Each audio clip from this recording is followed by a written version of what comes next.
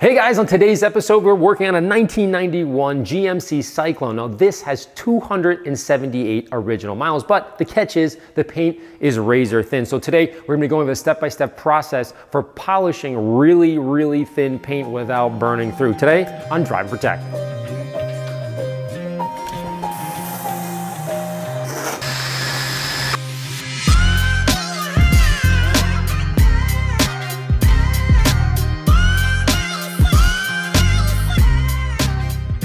The GMC Syclone is a souped up version of the Sonoma pickup truck, and in 1991, this was the fastest production truck in the world, with 0 to 60 in 4.3 seconds and the quarter mile in just 13.4 seconds at 98 miles an hour. Now, this thing is powered by a 4.3 liter V6 with a Mitsubishi turbocharger, producing 280 horsepower and 350 foot pounds of torque.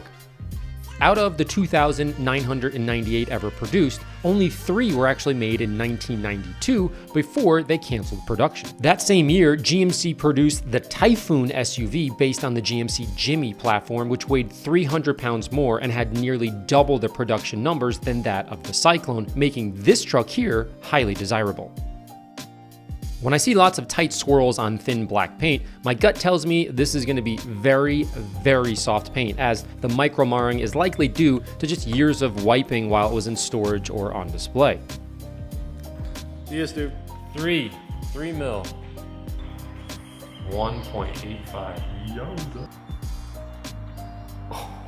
Well, today's lesson is gonna be on how to polish paint that doesn't exist. Before we get too deep into the process, step one is just to simply wash the truck to remove any contamination and to see how the water reacts to the paint from the power washer, indicating either some level of protection or not that I may need to work through during the polishing phase. In the foam cannon, I'm using Ammo Foam plus Boost to increase its lubrication. Now, obviously, when you suspect super soft paint on a car like this one here, you're kind of forced to only touch the paint under extreme lubrication conditions. Unlike, let's say, a Mercedes from the early 2000s that had way harder paint, you can wipe that one way more frequently and you can wipe it at shows, etc. And it's not going to mar as easily as this one does. With the paint now soaking, I work the turbine style 16 inch aluminum wheels with Ammo Brute wheel soap, a two tier wheel brush, and a microfiber towel. With less than 300 miles, obviously they're not very dirty, but we wanted to clean them prior to polishing and then coating later on.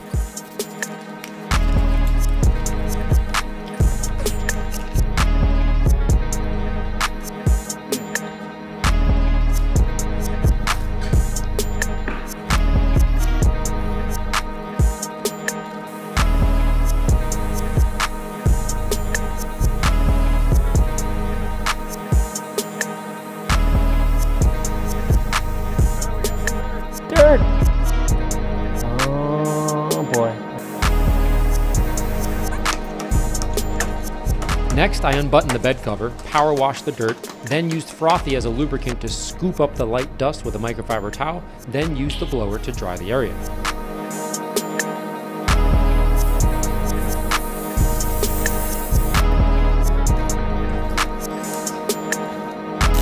Ooh, that's dirty. Thing spools up. For the engine, I lightly rinsed with mm. water, then misted frothy from the aerator once again, just to remove any dust or light grease that was added for the Bring a Trailer pictures last year, then wiped with a microfiber towel. Now, normally I use compressed air triggers just to blow out the trapped water, but they can be overly aggressive, sometimes blowing off badges or sensitive paint, whatever, and sometimes forcing water into places it shouldn't go, so not always the best thing to do. So lately I've been using my Metrovac Master Blaster because the stream of air is just not so violent, especially on incredibly rare cars like this one. So this is why we do uh, what we do here.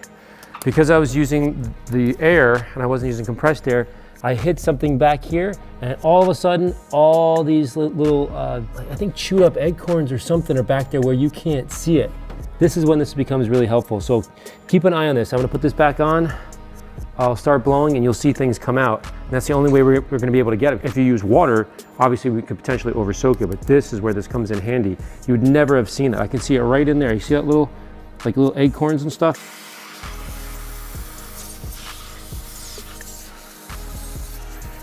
To dry the paint, I did the same exact thing just to avoid using compressed air and having issues associated with that. In this case, I used both of the four horsepower motors producing about 540 mile an hour warm, dry air along with a microfiber towel to quickly dry everything up before I start my polishing process. Now, the cool thing is if you're unsure about the paint and how if it might blow something off, you can kick one of those motors down and just use four instead of the eight horsepower. So basically cutting it in half and for me, I used both of them because I felt pretty confident. It took me about eight to 10 minutes and the entire truck was dry.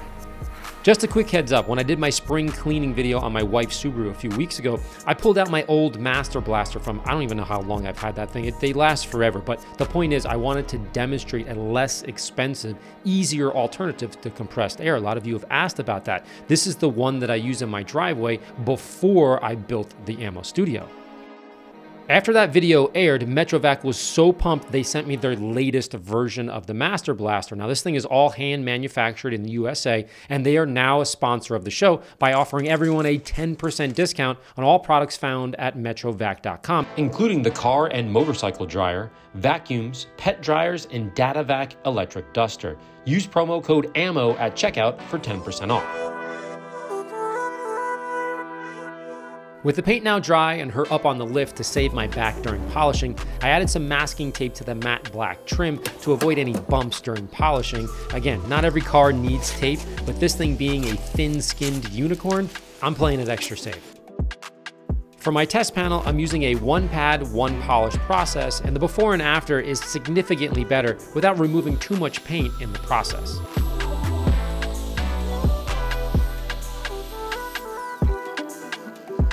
Okay, after my 50-50 on the hood, you can see that there is tons of paint residue coming off. In this case, it's single stage paint. The paint is black. This pad was white and now it's black. So we're getting a ton of residue and the paint is very thin. So what that means is the reason that there's so many swirls in there is it's very soft paint. So we have thin paint plus we have soft paint. That equals danger. So the way that I'm sort of getting around that or mitigating that is I'm using a straight edge pad. Now, if you can see right here, very, very flat. Now, if I take a normal flared pad, you can see it fly up here. Now, the reason that we do this, we mentioned this in a video with Kevin Brown years ago when we were working on Matt Farah's Countach, and the reason why is the edges are very sensitive. And if I put this down here, now if the pad backing plate is right here, we can see this flares out and it flops around. And this can be good to get into tight areas occasionally when you're trying to work on paint that maybe is a little bit stronger, but when you're on very thin paint that's soft, this will flap around and might hit an edge and burn it. So what we do here is now that this is nice and straight, you can get into tight areas and it's not gonna flap over or spin out and kind of burn off an edge. So that's the reason why we do that. Plus, I'm using a long cycle polish. The combination of the two is allowing me to do a one-step polish on this keep as much paint as possible and you can see the depth and clarity came back. Most of the scratches are out. But the key to this whole thing is being okay with 85 to 90%. If you go from 90 to 100, you can cause some damage and that spread between 90 and 100 is not worth the risk.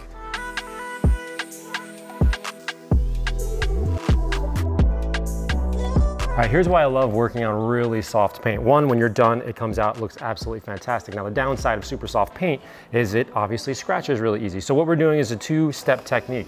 The first one you may have noticed, I use my arm speed much faster than the second one. It's what we call a mow down. The idea is just kind of grind off, metaphorically speaking, all the dead skin, all the stuff that's been on there for years. Then I take the pad, blow out the pad. The reason we blow out the pad at that step is if you don't do that, all the residue, all the dead skin sticks to that pad. Now it's in there, right? These little spikes are in there that you just got out and now you're grinding the paint with it. And that's why it's really hard to get soft paint to be swirl free. That's kind of the trick. So after I blow it all out, I put a little bit of ring of polish back on there and then I'll go very slow. Now I'm polishing the paint. I'm not polishing the dead skin that's on top. I'm polishing the beautiful paint that's underneath. And it'll give your pad a little bit of time to breathe as well because you're blowing out that residue. You're not just keep scouring the paint. That's the trick when you're working on super thin, super soft paint. You have to use two steps and make sure that you're managing that residue that's coming off. Scoop it up, blow it out, and then continue on. It's best to rotate two to three pads per car, especially when using the one pad, one polish technique. Eventually the pad becomes saturated with residue and needs to be cleaned. To do that, use Titan 12 degreaser, a little bit of warm water, and then gentle massaging of the foam to release the paint residue buildup. Look how quickly the foam has gone from black to white. Now, once everything is clean, blow it out with air or use a microfiber towel or simply just let it sit there and air dry while you use a new pad.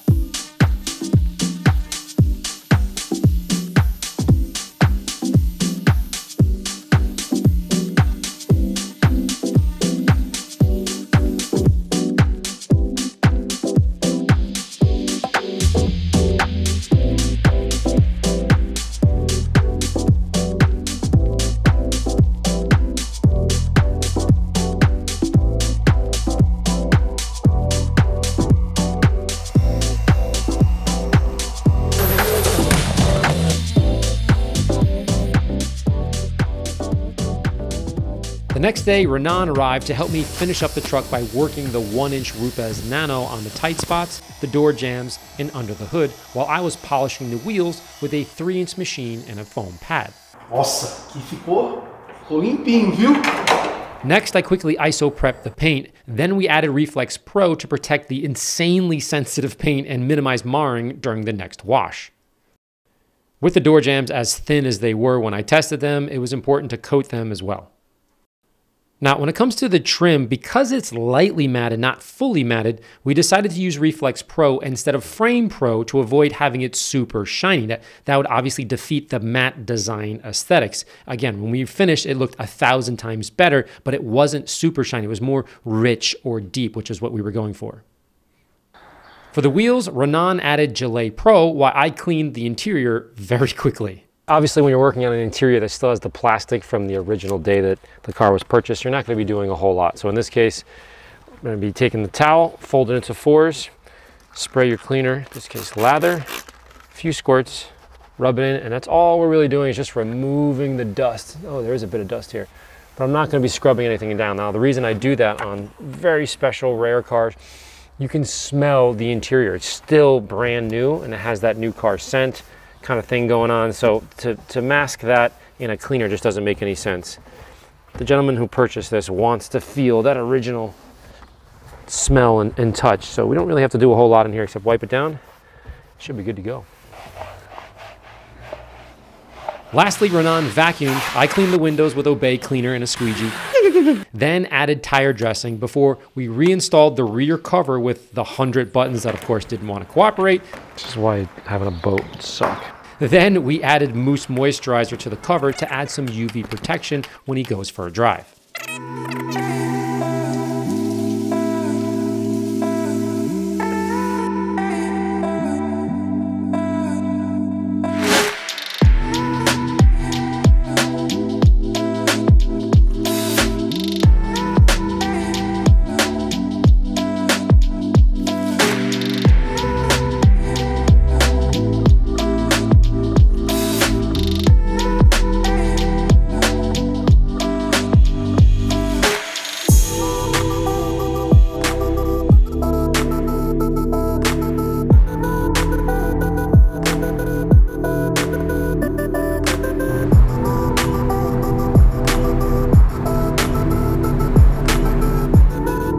On next week's episode, we restore a half a million dollar one of one Group B Rally RS 200S in black. Absolutely insane rally car. Make sure you subscribe to watch all of our latest details. As always, thanks for watching and see you next week.